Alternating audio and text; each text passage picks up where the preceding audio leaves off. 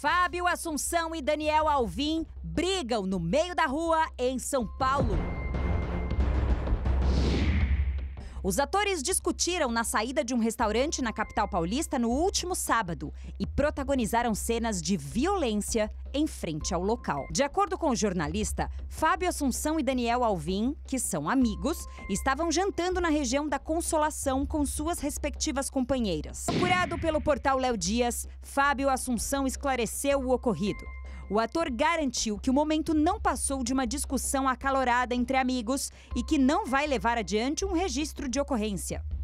Assunção ainda afirmou que está tudo bem entre eles. Os dois usaram as redes sociais para explicar o desentendimento e provar que realmente está tudo bem.